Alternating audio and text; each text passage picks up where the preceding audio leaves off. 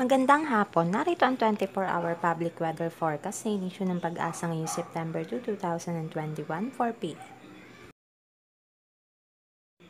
Kasalukuyan pa rin umiiral sa ating bansa at nakakapekto pa rin ang ITCC or Intertropical Convergence Zone.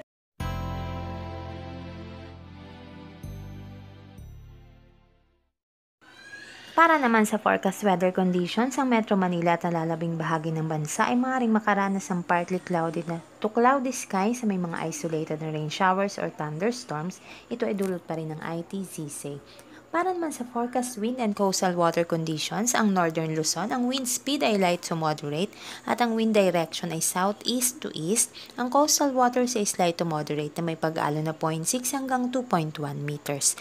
Para naman sa nalalabing bahagi ng bansa, ang wind speed ay light to moderate at ang wind direction ay southeast to southwest.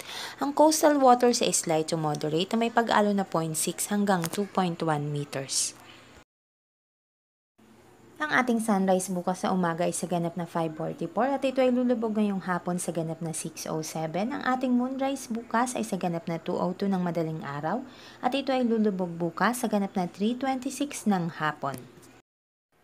Para sa pinakalatest sa weather update ay bisitahin natin ang official Facebook page ng DOST Pag-asa.